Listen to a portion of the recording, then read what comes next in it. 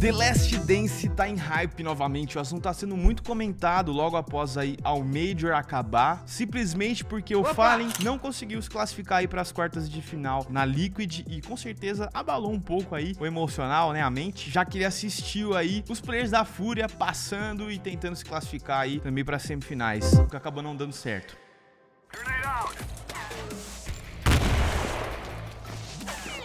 Got him.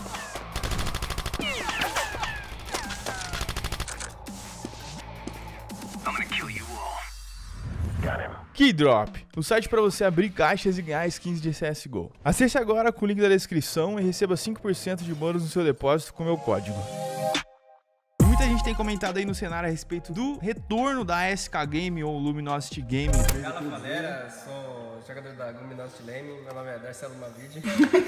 Lá de 2016, a line que era FNX, Fer, Fallen, Coldzera e Taco. Na minha opinião, o melhor time que já jogou CSGO do planeta Terra, é mano. Verdade. Aquela line de 2016 foi sensacional e muita gente tem aí conversado a respeito desse assunto, da volta daquele time brasileiro que ganhou dois Majors Majors back-to-back, sem perder nada no meio do tempo aí, né? Bagaçaram geral, basicamente. Porém, hoje são jogadores um pouco mais velhos, próximos talvez aí de aposentar. Mas a gente tá falando CSGO, a gente não tá falando de futebol, mano. Os caras não tão cansados, os caras não tão sem pique, sem fôlego, eles não precisam dar a vida e correr 10 km em uma hora, mano. Eles têm que jogar uma partida de CS, ninguém precisa sair correndo, tá ligado? E esse post aqui do HLTV tá falando que seria uma ideia essa nossa lineup brasileira se juntar simplesmente Simplesmente porque se somar a idade do Fallen, do Code, do FNX, do Fer e se juntar também aí junto o Taco, dá quase 30 anos de média, né, entre esses caras aí, apesar de um ser mais novo, outro ser mais velho. Mas ó, cá entre nós, tá? Vamos conversar aqui rapidamente. Dessa lineup antiga aí, desses cinco, o Taco é o mais difícil de conseguir entrar, né, de sair lá na Godsent, a multa dele deve ser milhões, eu não faço a menor ideia, para falar a verdade. Mas vamos falar aí. Fallen, não tá muito contente na Liquid, entraria tranquilo tranquilo no Last Dance. Fer, FNX e Code é só pagar bem, mano, tá ligado? Só pagar bem. E obviamente que pra uma lineup de time de CSGO desse nível existir, teriam que ser gastos pelo menos uns 2 milhões de dólares por ano. A grande questão é quem que vai bancar esse time. Esses caras, eles fizeram história, mano. Se vocês olharem aqui, por exemplo, o troféu aí do Major 2021, bem no meio do troféu ali, a gente tem a assinatura dos monstros, mano. Do Fer, do Code, do Taco, do FNX e do Fallen. Os caras escreveram a história do CS no Brasil. Eu, de coração, espero que esse roster aí brasileiro retorne esse time, independente do nome, independente da logo, independente do quinto player. Que esses quatro aí se reúnam de novo, né? O Fallen, o Code, o FNX e o Fer. Seria insano ver de novo a Code, né, mano? Aquela duplinha lá que bagaçou geral. Deixa nos comentários aí quais são as suas ideias a respeito disso. Esse vídeo aqui é simplesmente uma opinião minha aí, refletindo a respeito dessa teoria. Eu torço muito para que esse time aconteça. Precisaria de milhões de dólares para isso rolar mas esses caras sem dúvida seriam aí um time desafiante, talvez até mesmo para tomar o top 1 da Navi, quem sabe. Vamos aguardar e vamos torcer pelo CSGO brasileiro. Um abraço, até o próximo vídeo, falou!